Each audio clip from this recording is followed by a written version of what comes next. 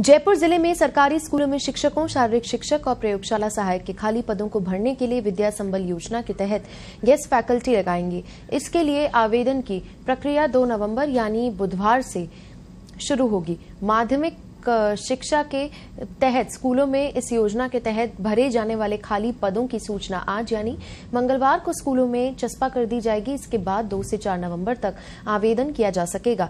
Merit के आधार पर चयनित शिक्षक को 19 नवंबर तक कार्य ग्रहण करना होगा।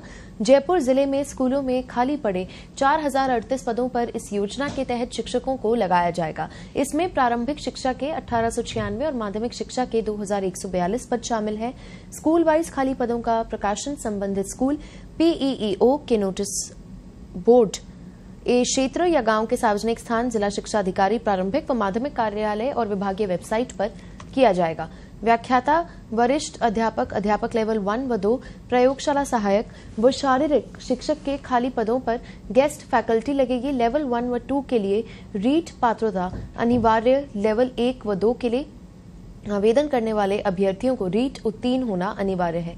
रिटायर्ड शिक्षक भी गेस्ट फैकल्टी के रूप में लगाए जाने के पात्र होंगे। उनके द्वारा आवेदित पद, पद की न्यूनतम वांछित योग्यता अर्जित की हो। हालाँकि अध्यापक लेवल एक व अध्यापक लेवल दो पदों के लिए रिटायर्ड शिक्षकों के लिए रीट परीक्षा उत्तीर्ण की बाध्यता नहीं होगी।